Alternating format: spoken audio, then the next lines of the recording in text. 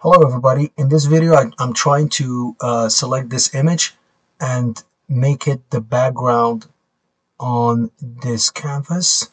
So what I need to do is to select this game component and in here I'm supposed to drag my image onto the source image in order to make it appear as a background. However, as you can see it's not working. I drag, let me go up when I try to see okay. As you can see it doesn't work.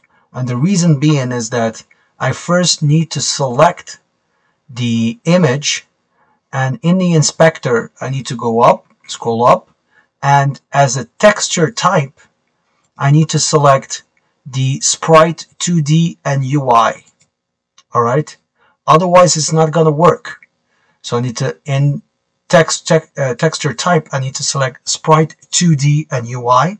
Then I scroll down and I hit Apply.